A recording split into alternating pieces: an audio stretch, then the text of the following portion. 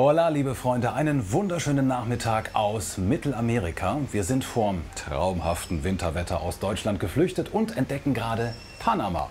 Die Anreise war unkompliziert. Zubringerflug von München nach Frankfurt. Von dort ging es mit einem Airbus A340-300 über die Bretagne raus auf den Atlantik. Gut eineinhalb Stunden vor der Landung dann noch ein traumhafter Blick über die Dominikanische Republik und das angrenzende Haiti, bevor es runterging auf den Flughafen von Panama City. Die Regenzeit hier dauert geschlagene acht Monate, geht von April bis November. Deshalb ist alles unheimlich grün. Der Urwald grenzt direkt an unser Hotel.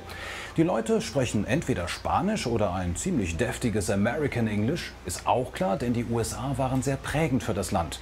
Offizielle Währung ist der US-Dollar. Die Amis bauten und betrieben bis 1999 den berühmten Panama-Kanal, dem wir selbstverständlich auch einen Besuch abstatten werden.